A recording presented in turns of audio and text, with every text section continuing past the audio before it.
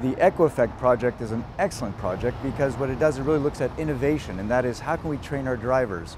And, and the beauty of the project is that when we train the drivers, across the board we can have a 10% reduction in emissions. That's good for the environment, that's good for energy savings, and it's also good for the economy of the transport operators. So overall, bravo to the project because it's something that'll have a real impact. Eco driving has been around for some time now, but the difficult element in it was, was it really working? Was it delivering results? So that's why in EcoEffect we have that innovative element that we do a lot of measuring to understand what is effectively taking place. And through that measurement, we can now say that yes, we have concrete results and we are saving on fuel consumptions, hence the benefit for the transport operators. Uh, and on another side, by the same percentage, we are saving on, on CO2 emissions. I think we created a quality, really quality eco-driving program, uh, the highest I've seen. And, and from, my, from my perspective, I've, I've been doing this since 1997 in Sweden.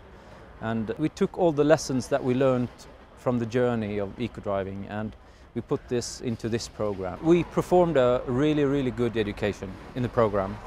Uh, two, that contains two parts. One is uh, train the trainer, and one is um, for drivers.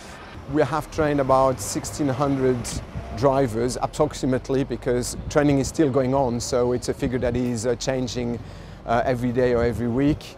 Uh, there are 77 trainers that have been trained. What the drivers have learned is mainly anticipation. You learn that you actually go there faster if you don't stop. If you do one stop in an urban area, that is about two and a half kilometers of driving in fuel.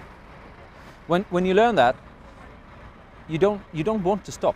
You, you create space and you use your brakes not to stop. When they learn that, they actually get there at the same time or even a little bit faster. Then it's easier for them to adapt the system. We started uh, one and a half year ago. Fuel consumption was 32 liters. Uh, now, after training uh, 26 trainers and uh, about 650 uh, drivers, our fuel consumption uh, went down till 28, 29 liters. And still we're going down, so that means we didn't finally reach our lowest level. Um, what we also reached and uh, what is a big plus for our company is that uh, we see about 30% less accidents, damages on our complete fleet of 240 trucks. Certainly, we would say there will be an impact on road safety, but we never really measured it. Now with EcoEffect and through the monitoring of the performance of the driver, we could also monitor, and that's a testimony from the companies that have been involved in EcoEffect, that basically they saw a reduction in terms of accidents, which is quite significant as We've been discussing different figures and it depends from a company to another one, but it goes from 25 to 40 percent. The drivers are coming in and asking for the performance, asking what they can improve a little bit, uh, what they are doing wrong. In one and a half year brought uh, our drivers on a higher level on a professional state. So um, that's uh, one of the most important things, uh, fuel saving, less accidents and um, more happy drivers. They, they drive in higher gears, uh, they skip gears uh, while accelerating. Acceleration is uh, the most, uh, yeah, is the one thing that costs when you drive, right? And they learn about how to do a proper acceleration, using uses of the gears, uses of the help gears or, and the help brakes. So they can use the help brakes in the right way.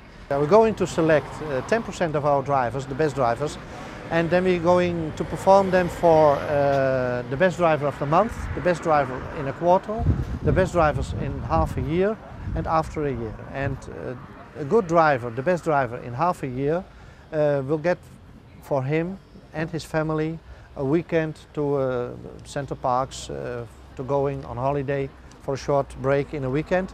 And uh, the driver, the best driver within one year is going a week on holiday to Spain, uh, paid by our company.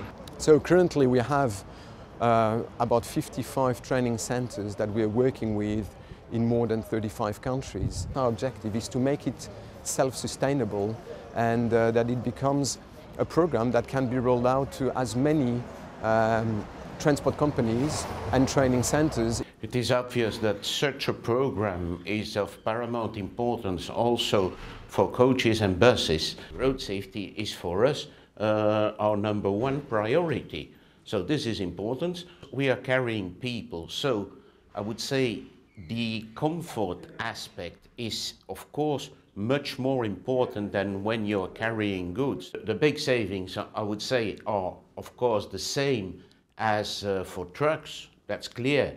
It's about uh, the consumption, it's about the CO2, it's about uh, the image. There are some parts of the activity when you're thinking about scheduled services which cannot necessarily be adapted to improve your figures because you need to stop, I would say, every 250 meters, for instance, uh, where there is a public stop uh, for a bus line.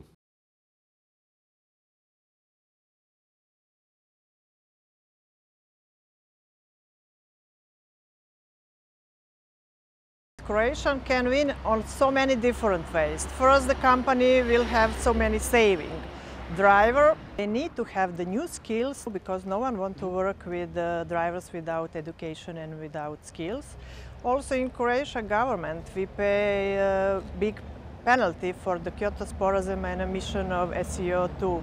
So it is just an investment. The already money we put on one direction for this penalty. If we put in the different way, like education for the driver, we will have uh, less unemployment in Croatia. So it's so many different ways we can earn the money and have a more happy citizens. Yeah.